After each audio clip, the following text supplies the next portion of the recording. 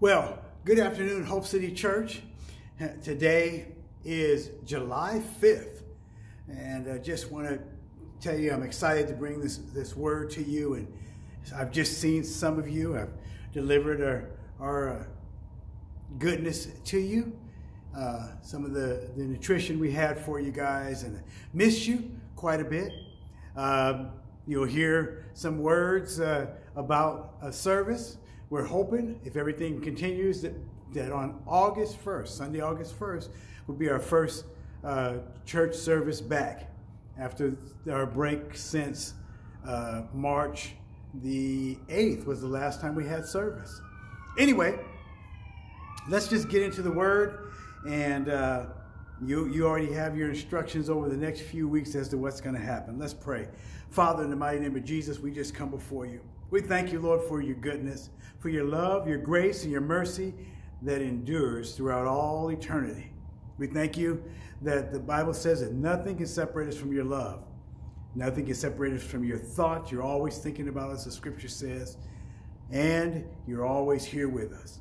So, Lord, we thank you for those things. I pray, Father, that you would just take your word that I'm sharing.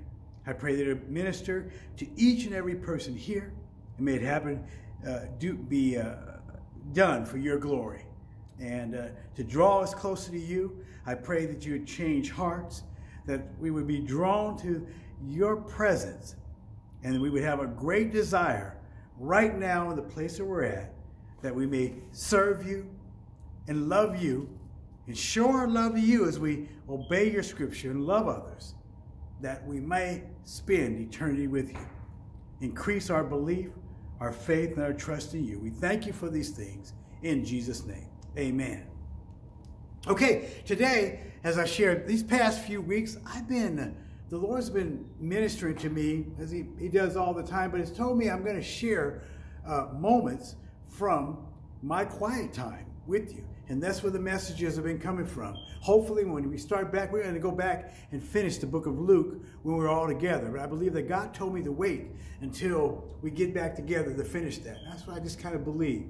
So, right now, today's word comes from Psalms chapter 2. We're going to look at the, the entire chapter, it's 12 verses in the book of Psalms. And there's a, a short word for us, a short message for us there.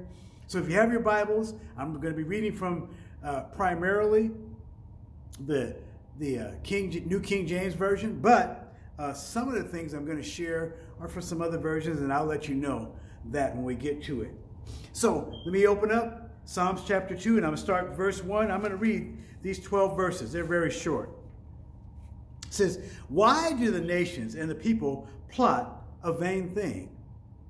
The kings of the earth set themselves, and the rulers take counsel together against the Lord and against his anointed, saying, Let us break their bonds in pieces and cast away their cords from us. He who sits in the heavens shall laugh. The Lord shall hold them in derision. He shall speak to them in his wrath and distress them in his deep displeasure. Yet I have set my king, I'm sorry, yet I've set my king on my holy hill of Zion. I will declare the decree. The Lord has said to me, You are my son. Today I have begotten you. As for me, and I will give you the nations for your inheritance, at the end of the earth for your possessions, and the ends of the earth for your possessions. You shall break them with a rod of iron he shall dash them into pieces like a potter's vessel. Now, therefore, be wise, O kings. Be instructed, you judges of the earth. Serve the Lord with fear and rejoice with trembling. Kiss the Son, kiss the Son, lest he be angry and you perish in the way, when his wrath is kindled but a little. Blessed are those who put their trust in him. I love this passage of scripture, and as I was preparing, studying, I, I saw things myself, and I also uh, looked and just read some, some things that others had to say. And I was really moved by what one uh, commentator, an old pastor, had to say on this passage. And I'm going to share quite a bit of his thoughts because they blessed me and why hide them? I believe the Holy, they were Holy Spirit inspired, and I believe that they'll help, as it did me, it'll help you. I was led by God as I saw this, and this passage just stood out to me. And as I began to study, I, I found out why, and I want to share that with you. So I love the way this commentator lays these this these 12 verses out. He says something odd. He, he, he says that this passage is basically taken from four points of view. And he said, he, he, he said, let's, let's pretend that they're cameras. He says one is a camera in heaven. One is a camera on earth. One is a camera before the Holy Spirit. One is a camera, a camera before God the Father. One is a camera before God the Son. Let's, let's start out. Let's look at the beginning of these verses. In verse, the first three verses take it from the, the camera here on earth. What is going on with mankind? What's happening? And I love this passage because as I read this, I thought there's nothing that's changed. There's, the Bible says there's nothing new under the sun. There's things that have happened in the very beginning. They're happening over and over again. And here we see it again, even in the times that we live with the COVID 19 pandemic, the, the recent uh, rioting, the, the, the social injustice, and even the injustice in the church. The church, the separation in the church, churches warring against each other, having words. Sometimes war even within the church. I've heard people during the pandemic, instead of getting on our knees together and, and seeking God and, and, and, and, and asking God for direction as a church, where the church, uh, we have church members coming against their pastors saying, Where's your faith? We got to open services anyway. Forget the government. Forget what the, really what the Word of God says. The Word of God says that you and I have to follow the rules, the laws of the land. We're not talking about the laws of the land that are telling us that we can't serve God, because then that would be directly against what the Lord says. But they're telling us about us. And what if they say we can't come together, if they say we can't do those things, I mean, in one place physically, God has shown us how we can get around it. They can't, they, haven't come and, and told us that we can't worship God. We just can't there's limitations now on how we do it. And thank God we're, we're able to come back together right now. And, and even there's limitations on how we have to do it. If we have to have, we'd have to have extra services in order to do it, we can do that. Instead of, so instead of coming together, there's been division in the church. There's been a church that's not together on their knees seeking God because there's only one God, and that one God has one way that He wants things done.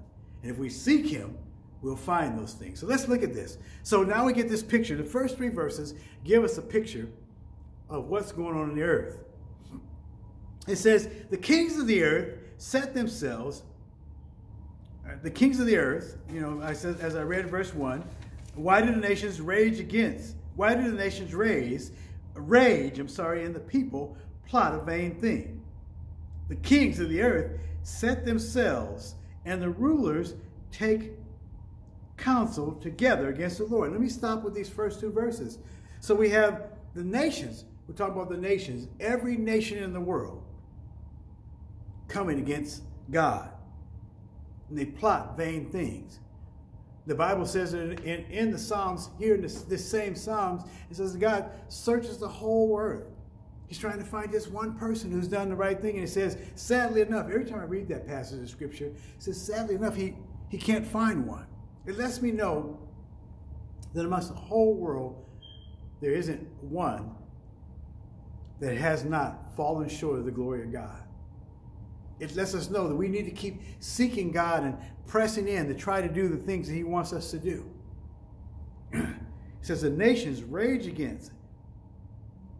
The nations rage and the people plot vain things. It says, The kings of the earth, and that's the political realm all of our nation's leaders, every nation's leaders.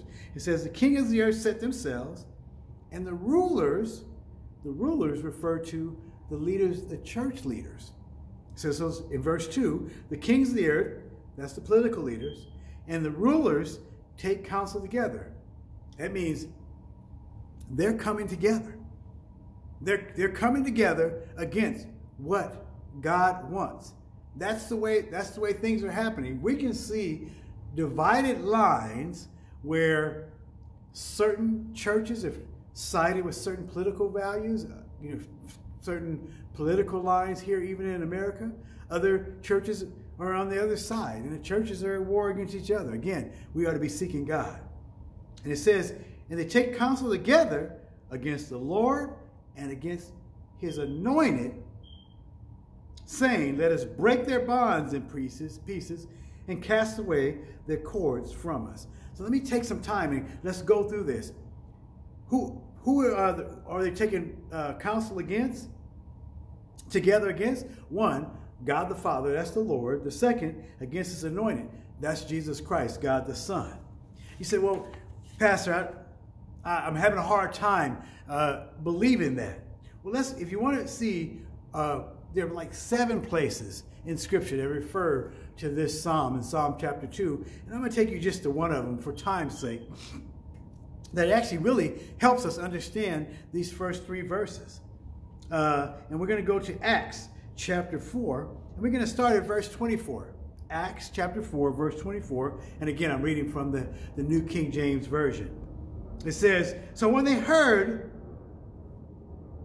so when they heard that, they raised their voices with one accord and said, Lord, you are God, who made the heavens and the earth, and the seas, and all that is in them, who, by the mouth of your servant David, has said, now here's, here's what we want to look at. Why did the nations rage and the people plot vain things? The kings of the earth took their stands, and the rulers were gathered together against the Lord and against his Christ. So we got against the Lord God and against Jesus Christ. For truly against your holy servant Jesus, whom you anointed, both Herod and Pilate, with the Gentiles and the people of Israel, were gathered together. Wow. So we had these two political parties that even came together, that were at odds against each other. Herod and Pilate. We saw that back when they delivered Jesus to be crucified. And then it says, even those that, even Israel, and Israel was were God's chosen, right? They came against him. The nations came against him even the Gentiles. Those who, because Israel turned their back on God, God used people like the Apostle Paul and Peter to come up and, and share the gospel with them. And many gave their life to him at this time. Many of us fall under this blessing because of the rejection of the, of the, of the Jews, of Christ. We fall under the same blessing. He wished that none would perish, and we're part of that. It says, uh, so in verse 27, I'll read it again. Truly against your holy servant Jesus, whom you anointed, both Herod and Pontius Pilate, with the Gentiles and the people of Israel, were gathered together to do whatever your hand and your purpose determined before, before to be done. Now, Lord, look on their threats and grant your servants that with all boldness they may speak your word by stretching out your hand to heal, and signs and wonders may be done through the name of your holy servant Jesus, whom they had prayed, the place where they were assembled together was shaken. Who, when they had prayed, the place where they were shaken, uh, were assembled together had shaken, and they were all filled with the Holy Spirit, and they spoke the word of God with boldness. So here's the disciples going back in and, and, and uh, recanting what happened, even when they were being filled with the Holy Spirit to speak the word of God boldly with the assurance that God, of the word that God told them to speak. And we have these words written down for you and I that we may, again, make it to heaven. So we have these things that I want to share. These first three verses point to the, the camera points at earth and it shows those who plot against God. And you might say, well, you know what? I, am not plotting against God. You know, I'm going to tell you, the scripture says all of sin and fallen short of the glory of God. I was thinking myself, here's the plots. God has a, a plan and a purpose for each of our lives. He has one for yours and one for mine. Some of them are very specific in what we're to do. You know, we're to go out and share the gospel, but he may say, you're going to live here and you're going to do this. This is where you're going to work. This is what you're going to drive. And many of us are like Peter was at the end after Jesus had come back and Jesus told Peter what his destiny was going to be. And Peter, as he was, as Jesus was telling him his destiny, he looked over and he saw John. He said, Well, what about him? And Jesus said, basically, you do what I tell you to do. Don't, don't worry about him. If I decide that he lives forever, he'll live forever.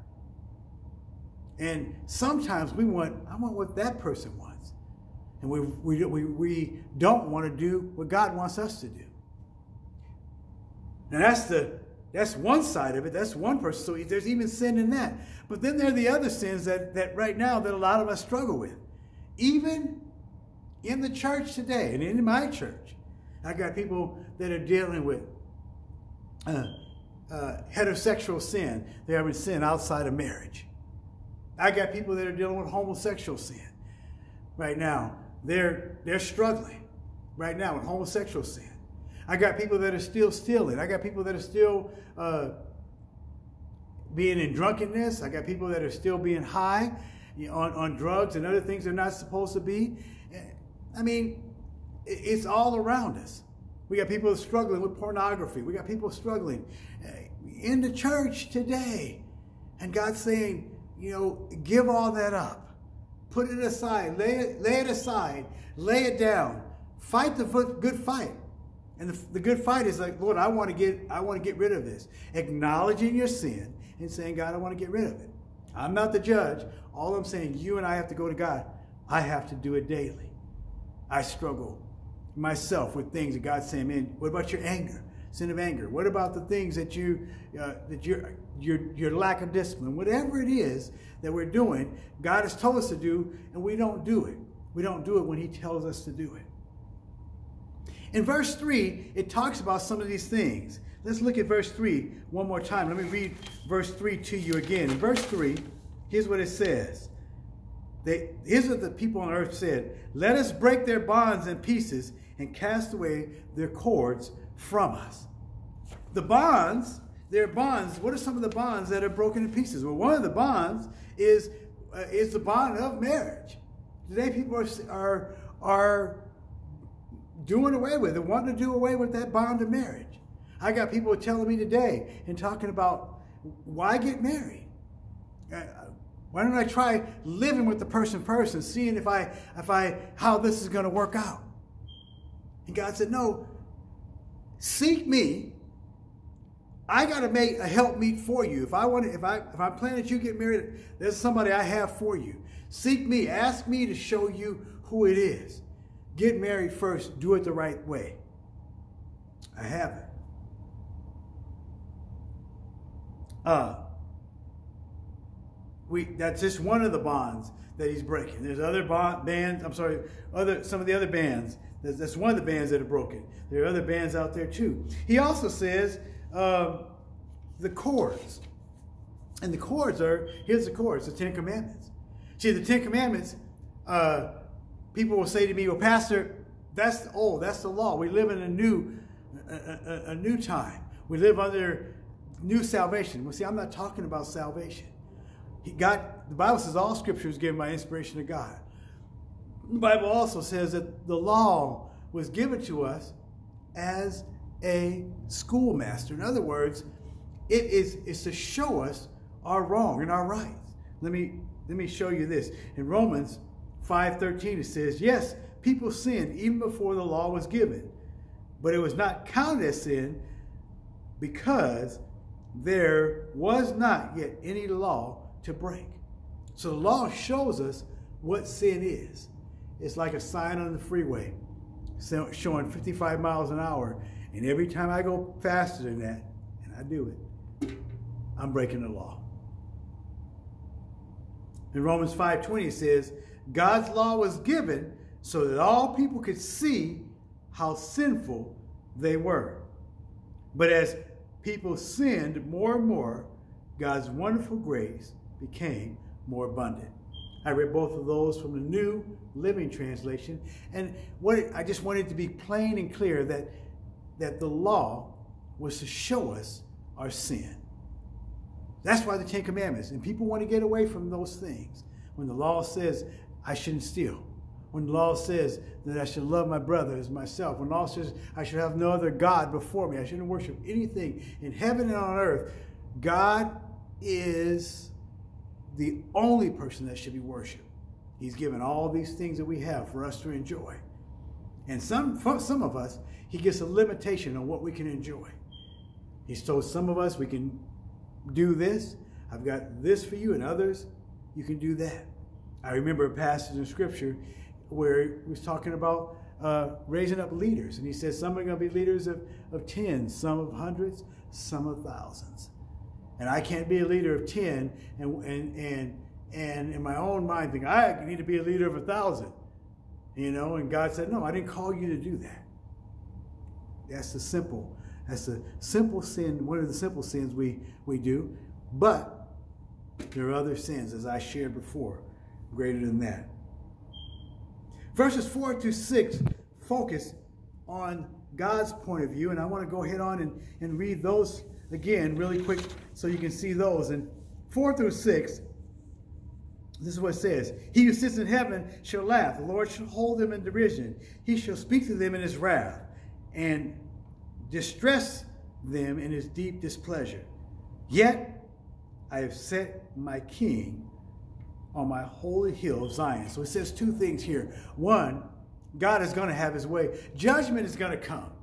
People think they're going to get away from it. They're going to get around it. They, they, look to God and shake their fists and go, I'm going to do my own. I'm going to do it my will. I'm going to do it my way. God says, no, you, you, you're, gonna, you're not going to succeed. You're going to be judged for that. In the end, you're going to spend eternity in hell. That's the thing. That's just the simple thing of that. And he says, and verse 6 says, and here's what I'm going to succeed in doing. I'm going to succeed in doing when I render judgment. As I'm rendering judgment, Jesus will, my son Jesus, God the Son, who's always been there for all eternity, he is going to be the king forever. His throne is going to be raised up. It's going to happen. In my time, when I say it's going to happen, it's going to happen my way. He's God already knows about all that's going on right now. It doesn't change his plan or his purpose. He's, he's not holding, coming any later than he planned to do. He's going to come. He's going to raise the throne of Jesus in his time, and he knows what the earth is going to be like at the time that he comes and raises Jesus up. Verses 7 through 10. I, let me just tell you something as I share with verse 6. Verse 6 is so real. Verse 4 through 6, his judgment is going to come. The throne of Jesus is going to be raised up. We're going to bow down to him. Every knee is going to bow and every tongue is going to confess that Jesus is Lord. You and I simply need to get with the program. We need to get with the program now. You and I need to get with the program. And we need to get with the program now. Verse 7, the focus is on Jesus. And in, in these verses, in verse 7, the scripture says, And I will declare the decrees, this is Jesus saying, the Lord has said to me, You are my son, today I have begotten you. And that begotten you is not the beginning when Jesus came into existence. That's the begotten when he was raised from the dead. It's already, things have already set. His tone is when he was raised from the dead. You have begotten, I, I have, you, he said, I'm, let me read it again. I will declare the decree. The Lord has said to me, in other words, Jesus is saying this God said to me, You are my son. Today I have begotten you. Ask of me, and I will give you to the nations for your inheritance, and the end of the earth for your possession. Again, at that point in time, be all Jesus. And it says, And you shall break them with the rod of iron, and you shall dash them to pieces like the potter's vessel. People have a struggle with that sometimes. They say, well, Jesus, I thought he was a, a, the God of all peace. He was, I thought he was a peaceful guy. Sometimes in order to bring about things, there have, things have to be torn down.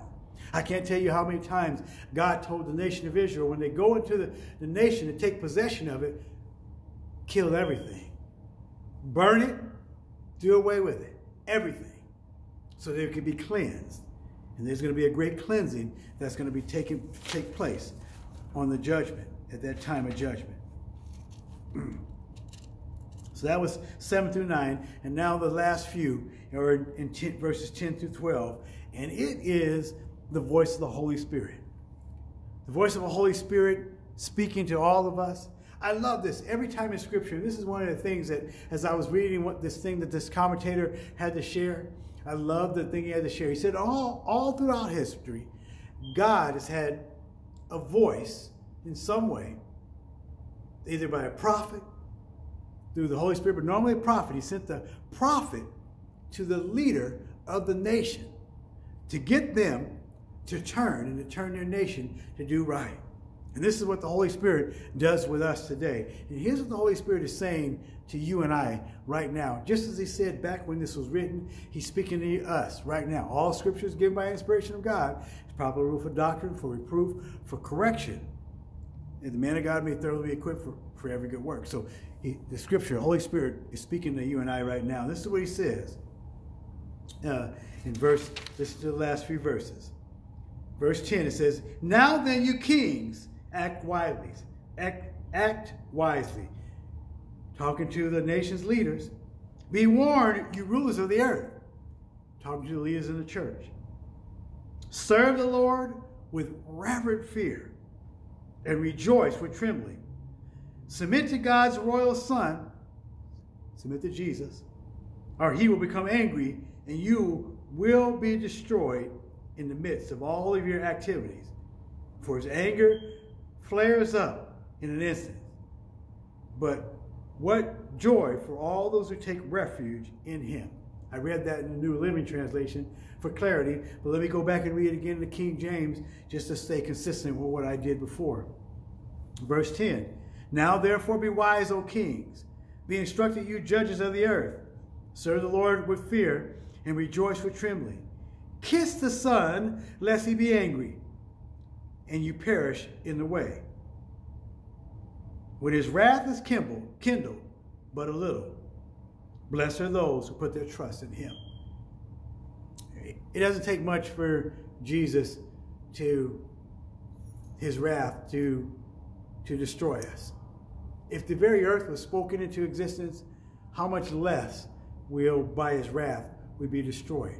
But here's what I want you to, to, to focus. In verse 12 of the King James Version, it says, Kiss the Lord. That's give your life to Christ. That's what it refers to. Give your life to Jesus in truth. Give your life to Jesus in truth. I'm going to finish with the words of this commentator. It says this My friend, the Spirit of God today is in the world saying to mankind, kiss the Son before it's too late. Believe on the Lord Jesus Christ before it's too late. He is coming someday. He is going to establish his kingdom here upon the earth. He's going to rule and he's going to put down all rebellion. He will bring peace, peace, and harmony to this little earth. Wow. God's going to rule.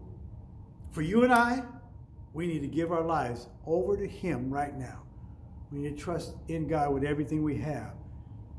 Let's give our lives to Christ today. Let's be determined to give our life to Him. Let's, let me pray for us that we might do it. Father, I just pray that we give our hearts over to you right now. May we go before you and ask what needs to be changed. And may we have open hearts to receive those changes and desire to make that change. Change us, make us new. Lord, forgive us of our sin and draw us to a, a newness in you, uh, that our lives may bear witness of you, that we may be lights on the hill, bringing glory and honor to you, drawing others to you for your glory. Now, Lord, we thank you for these things. And I pray once more that you help this word to penetrate all of our hearts. The word of God is from you, it's from your scripture. And I thank you for these things. In Jesus' name, amen. Well, Lord bless you and keep you, Hope City Church and, and friends.